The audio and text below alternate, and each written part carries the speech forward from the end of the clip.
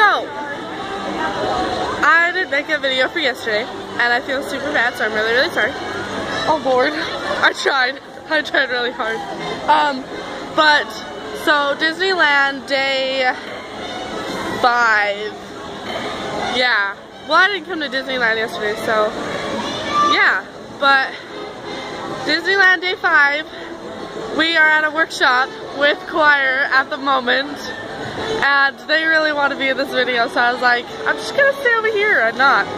Cool glasses, got them on the strip at, in LA, super cool. Um, we're waiting at the moment, it's super, super boring, but I thought I'd make a video, you know. It's cool. I'm gonna let them say hi for a second, because I love them. Okay guys, say hi. Hi!